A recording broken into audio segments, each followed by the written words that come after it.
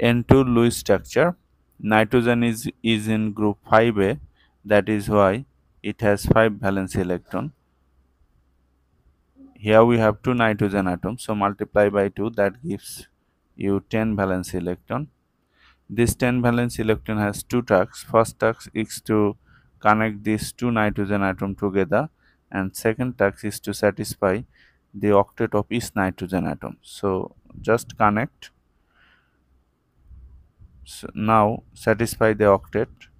So 2 we have used 2 then 4 6 8 10 we we have used all 10 valence electron.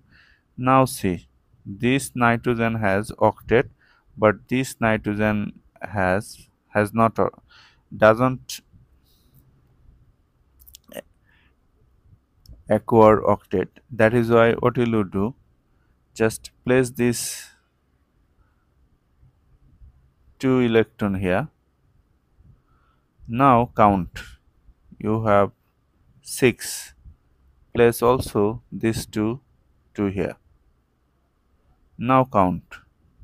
We have this nitrogen has 8 this nitrogen also has 8 so this is the correct Lewis structure you know that to every pair every bond pair represent a dash. So here three bond pair so you can place here three dash. Three line actually three line.